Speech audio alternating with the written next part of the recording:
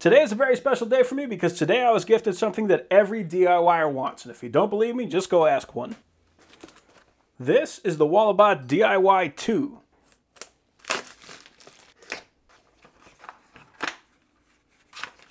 So we have a USB-C to USB-A cable, so this is just going to be for charging it. And the reason we're going to be charging this one is because this one is actually wireless. This is the first one that actually comes with its own battery. So it's a fairly good looking tool. We can see on the bottom we got our USB-C charging port and we got our power button. This comes with a 4000 milliamp hour battery, so it's going to put it right on par with what you're going to get with an iPhone or an Android phone. So the instructions are pretty simple, but what they basically say is download the Walabot DIY app and it says we can use Google Play or the iPhone App Store. So this is the only one that Walabot makes that also works with an iPhone. So what that means is for me, I have an Android phone, but if I ever want to let somebody borrow this, somebody that I care about, I can still let them use that even if they're using an iPhone. So that's great. And we're going to select the Walabot DIY 2.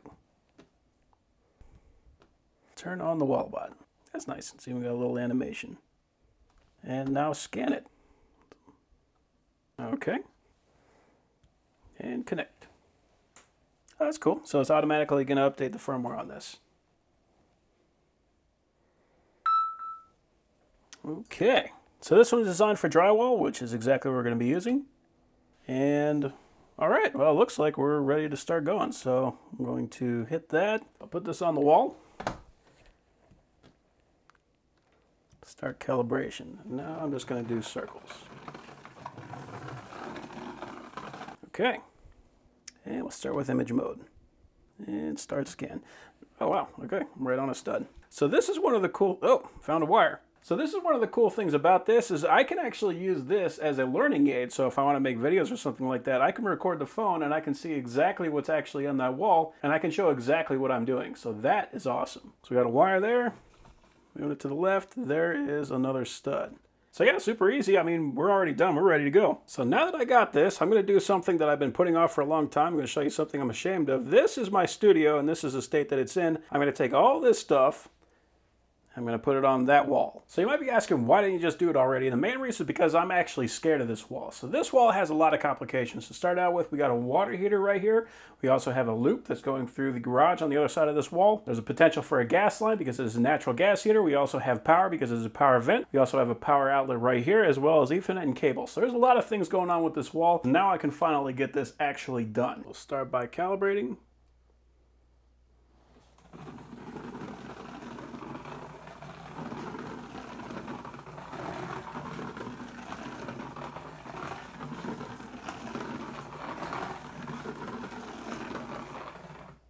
Okay. Oh, and we are right on a stud. Right there. We got a wire there, or it could also be a pipe because the uh, purple bar just means it's a wire or a pipe. Either way, you don't want to drill into that.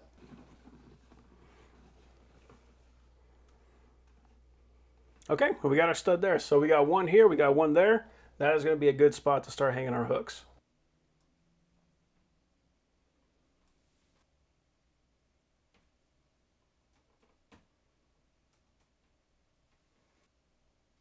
So you can kind of see I got my green laser line right here, so I'm going to use that to make sure that I get everything perfectly centered. I'm going to put one set of hooks up here, I'm going to put another set of hooks right up here.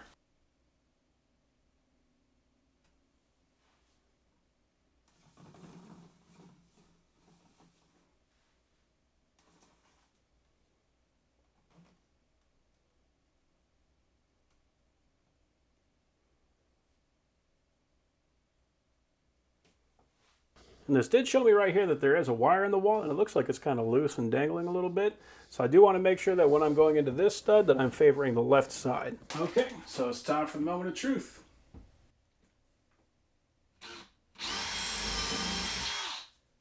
That felt like wood.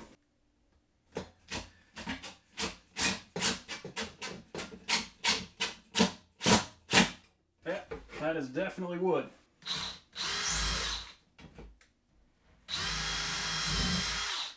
Cool. Yeah. Two for two.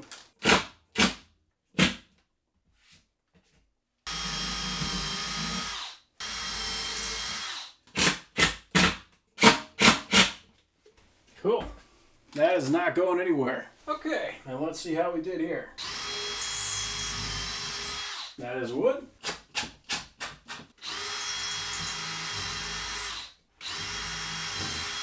And that is definitely also wood. All right.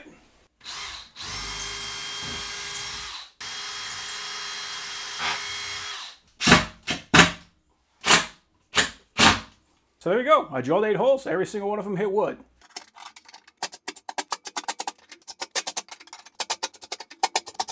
Okay, and now to move the mess. And put it over here.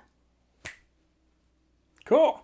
So there you go. Got everything up on the wall now. And although there is still plenty of room to go, at the very least, I don't feel like taking a flamethrower to this room anymore, so that's something. And beyond that, I now have access to all these tools. So before where I had to like dig into a pile, now I can just reach and grab it off the wall. So that is awesome. And with all the pipes and wires in this wall, I am so glad that I had this thing to help me out because I don't think I could have done it without it. This is an awesome tool. Now, if we take a look around this room, we can see that hanging things on the walls and ceilings is something that I'm fairly used to. In fact, I've been doing this for quite some time. But this wall is always something I've been concerned about. The main reason is because of this shutoff right here. So this is the shutoff for our main water supply. So I've got water going up here, and I've got water going up here and here. So hanging all of this stuff, that's not a problem. But trying to put something in here is something I've always been concerned about. And I want to put my helmet hanger right here. Just to see what we got right here.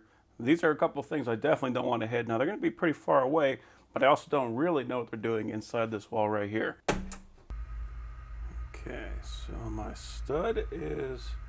I'm actually a little bit surprised as to how accurate this thing is just because it's it's telling me within millimeters where the center of that stud is.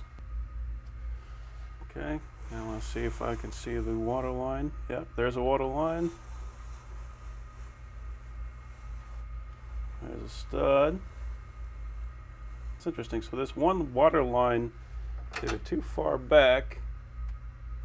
Oh, no, it's because it branches off. So that's interesting. So it actually goes up and across and goes straight up. So there isn't even two water lines right here. I actually didn't know that. Okay, I'm learning all kinds of stuff today. Interesting. All right, so I'm going to go a little low because I want this thing to line up and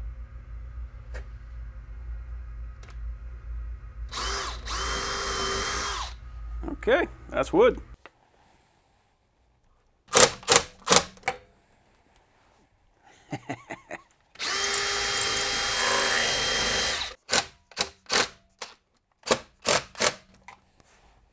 Awesome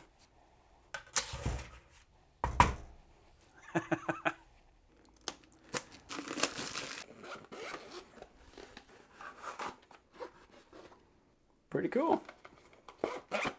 So I am very happy with that.